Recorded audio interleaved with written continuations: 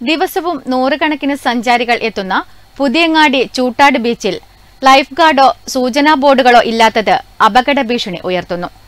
കടലും പുഴയും ഒന്നിച്ചു ചേരുന്ന സ്ഥലമായതിനാൽ തന്നെ ഇവിടെ അപകടങ്ങൾ തുടർക്കഥയാവുകയാണ്. ജില്ലാ ടൂറിസം പ്രമോഷൻ കൌൺസിലിന്റെ കീഴിലുള്ള ചൂട്ടാട് ബീച്ചിൽ ദിവസവും നൂറുകണക്കിന് സഞ്ചാരികളാണ് എത്തുന്നത്. എന്നാൽ അപകട സാധ്യതയേറിയ ഈ മേഖലയിൽ മുന്നറിയിപ്പ് ബോർഡുകളോ ലൈഫ് ഗാർഡോ ഇല്ലാത്തത് ദുരിതമായി തീരുന്നു. കാലാവസ്ഥാ വ്യതിയാനവും കടലിന്റെ സ്വഭാവവും പ്രവചനാതീതമാകുന്ന അവസ്ഥയിൽ കടൽ തീരങ്ങളിലെ സുരക്ഷ ശക്തമാക്കണമെന്ന ആവശ്യമുയരുകയാണ്. കടലും പുഴയും ഒന്നിച്ചു ചേരുന്ന പുതിയ വളപ്പ് ചൂട്ടാട് അഴിമുഖത്ത് സ്ഥിതി ചെയ്യുന്ന ഈ ബീച്ച് അപകടം പതിയിരിക്കുന്ന മേഖലയാണ്.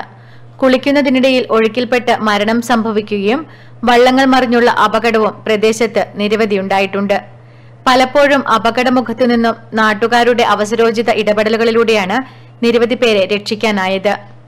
സന്ദർശകരുടെ സുരക്ഷയ്ക്കായി യാതൊരു സംവിധാനങ്ങളുമില്ലാതെയാണ് ബീച്ച് പ്രവർത്തിക്കുന്നത്.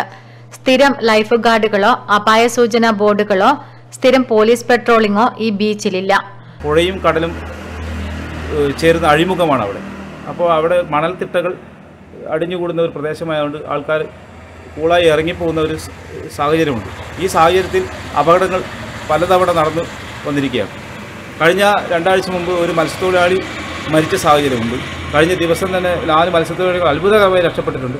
അപ്പോൾ അവിടെ ഈ ടൂറിസ്റ്റുകളെ രക്ഷപ്പെടുത്താനും മറ്റുള്ള കാര്യങ്ങളും ഒക്കെ നോക്കാൻ ഒരു ലൈഫ് ഗാർഡിനെ എത്രയും പെട്ടെന്ന് നിയമിക്കണമെന്ന് അഭിപ്രായപ്പെടുകയാണ് ആവശ്യപ്പെടുകയാണ്.